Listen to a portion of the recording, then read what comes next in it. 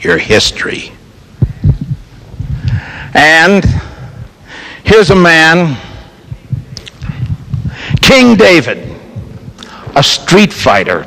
Street fighter. if I was a fisherman and he was a fish, I'd throw him back. Do you think on a man this skinny that I would waste one of my great finishing holds? Get up and get out of here, you dwarf!